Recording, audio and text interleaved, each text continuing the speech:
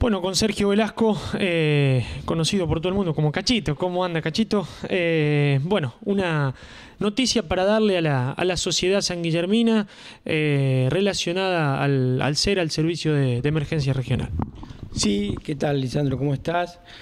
Bueno, es contarle a todos nuestros afiliados que a partir de mañana este, nuestros afiliados van a seguir teniendo la misma respuesta prehospitalaria y médica a través del servicio del SEMI.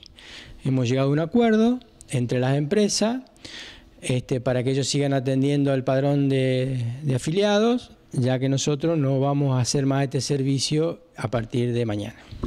Bueno, eh, esto se da en, en, en uno imagina, en un, en un contexto económico un poco desfavorable, Sergio, ¿no? Sí, lo hemos hablado varias veces, Lisandro, y con mucha gente conocida, de que eh, en realidad el pueblo no da para dos servicios de emergencia y le hemos peleado, le hemos llevado adelante mientras pudimos, de la mejor manera que pudimos, y honestamente, bueno, el, el país no acompaña mucho con los avatares de de, últimamente que todo el mundo sabe, y para no dar o no bajar el servicio desde el punto de vista profesional y desde el punto de vista de la responsabilidad, este, bueno, preferimos hacer esta unión de la, de la empresa, darle los, los afiliados al otro servicio para que siga atendiendo. Bueno, y yo particularmente tengo otros proyectos y, y bueno, y dejar así como, como estábamos el servicio.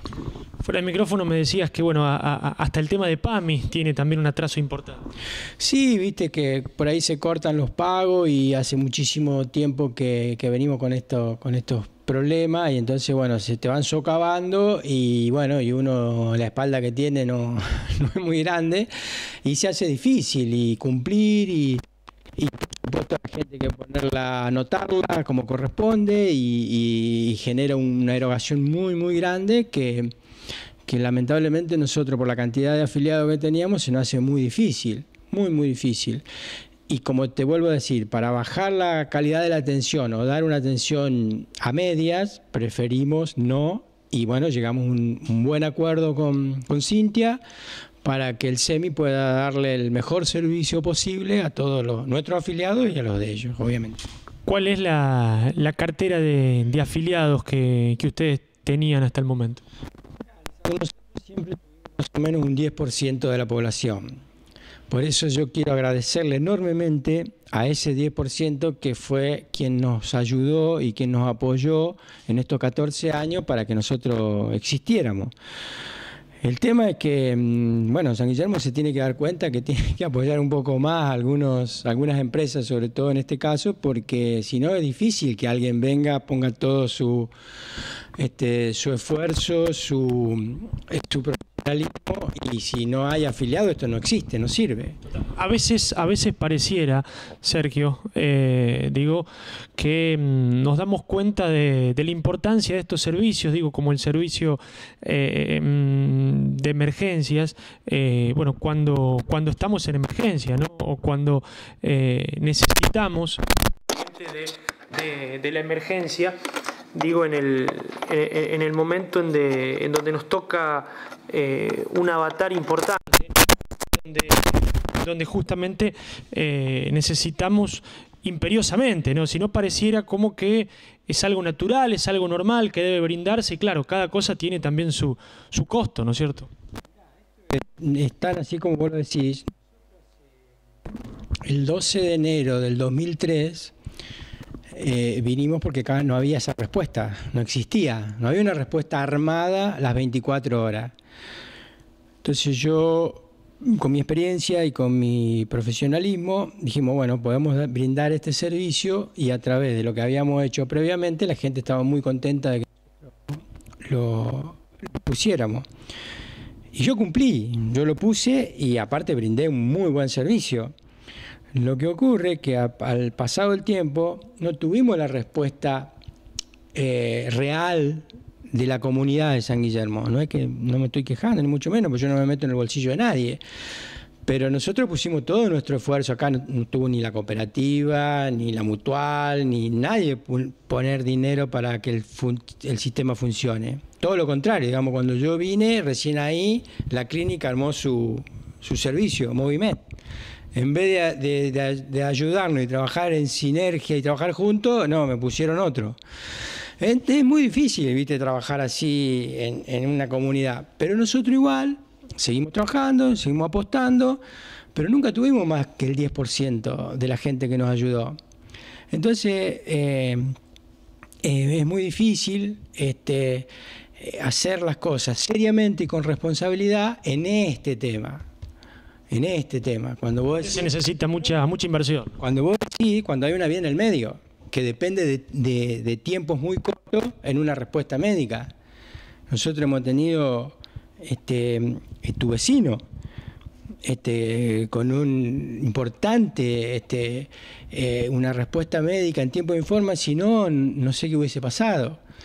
Y sin embargo, no, después no tenés la misma respuesta. Entonces no es que existe el sistema de emergencia como una parte pública y que, está obligada a darla. Este, esto es privado porque no hay quien lo ponga, porque público no hay.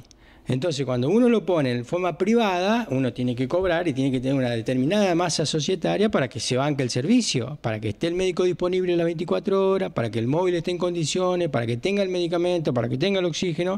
Y por ahí la gente parece que no se da cuenta que eso tiene un costo fijo, mensual, muy alto. Entonces es muy difícil después llamar a, un servicio y, y y si no tiene médico, y si no tiene los elementos, entonces prefiero, antes de dar una respuesta a media, no darla. Sergio, ¿cómo sigue eh, todo esto ahora eh, en cuanto a los afiliados de ustedes? Eh, ¿Cuál es el mecanismo justamente para, para que tengan la tranquilidad de que, de que van a tener el, el, servicio, en este caso ahora por el servicio del SEMI? Bueno, hemos llegado a un con Cintia, como te contaba antes, de que ellos se van a hacer cargo de, dar la respuesta médica de nuestro afiliado, así que nuestro afiliado no van a tener ni siquiera 10 minutos sin cobertura. Todo el mundo va a tener, va a seguir teniendo la misma cobertura, de la misma forma y con el mismo profesionalismo que nosotros. Hemos llegado a ese acuerdo con Cintia, así que a partir de mañana ellos, la gente va a poder llamar directamente al SEMI o si no escucha esta nota y llama al número del SER, va a estar grabado en, el número que llame, el número del SEMI para que le den la respuesta. Y va a haber una respuesta eficiente como, como la hemos dado nosotros hasta ahora. Las coberturas eh, eh, son para todo tipo de coberturas, digo, por ejemplo, el, que tenía una cobertura especial, como por ejemplo grupo familiar, grupo empresarial, eh, mm, jubilado, ¿cómo, cómo es? ¿Todo se mantiene lo mismo? ¿Ya dependerá después de un diálogo de los afiliados con el SEMI? No, no, no. Los socios eh, directos nuestros pasan a ser automáticamente este, mm, directos del SEMI porque nosotros le hemos pasado la cartera completa. Así que de eso no se hagan problema que tienen lo mismo. Los únicos, los únicos que no han querido pasarse en forma directa, como todos los otros afiliados, es lo del Centro Empleado Comercio. Yo he hablado con Norberto Grosso y con este, Iñiguez explicándole la situación que nosotros pasamos, todos nuestros afiliados a partir de mañana para que lo siga atendiendo el SEMI de, exactamente de la misma manera, con la misma forma y de la misma, con la misma esta responsabilidad. Y ellos no quisieron, así que no sé, no les puedo decir qué, qué va a pasar, si estarán un día, dos días, diez días, medio día sin cobertura, porque no quisieron pasar de esa manera. Así que yo lo lamento mucho por, si pasa algo con los afiliados del Centro Empleo de Comercio, pero no sé cómo van a arreglar o cómo van a seguir la cobertura a ellos. Hasta ahora la tenían con nosotros de una manera. Nosotros la quisimos pasar de igual manera que pasamos a todos los otros socios para que el SEMI le dé la respuesta y ellos no quisieron, a través de estas dos personas que te nombré, no quisieron que, fuera de esa manera. Lo único que, que faltaría definir todavía. Lo único, lo único. Lo demás, exactamente igual. La gente va a poder llamar y pedir el servicio médico como hasta ahora y, va a tener la respuesta del SEMI. Sergio, ¿algo que, quieras agregar? Eh, ¿Algo más ya a modo de cierre? Bueno, ¿algún mensaje a los sanguillerminos? Sí, agradecerle enormemente a, los, a nuestros afiliados, a los que nos ayudaron a estar estos 14 años. Los llevo en el corazón. Eh, siempre hemos tratado de dar lo mejor, profesionalmente lo máximo. Y, el resto de San Guillermo es que mm, deberían preocuparse más por la salud de San Guillermo. Está muy mal la salud en San Guillermo, en, su, en su total. Digamos, hay cosas que le dan prioridades a otras cosas y salud, y yo creo que la salud debería ser y creo que no está en manos de los servicios. Creo que esto es política de salud. Y cuando uno habla de política de salud, eh, tenemos que empezar por el intendente, y de ahí para abajo tener en claro qué quieren de la salud de San Guillermo y no estar tan separado y tan dividido y diciéndole a todo el mundo que sí y no resolver el problema de fondo.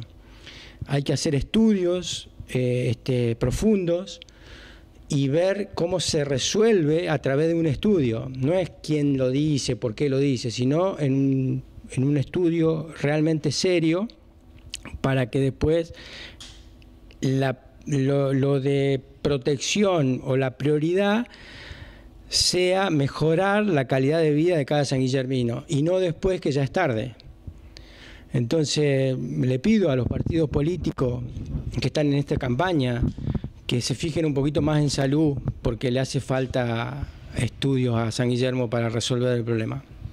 Sergio, muchísimas gracias. No, gracias a vos y un abrazo enorme a mis afiliados de toda la vida y les agradezco y los quiero mucho y los llevo en el corazón y van a ser bien atendidos por el SEMI.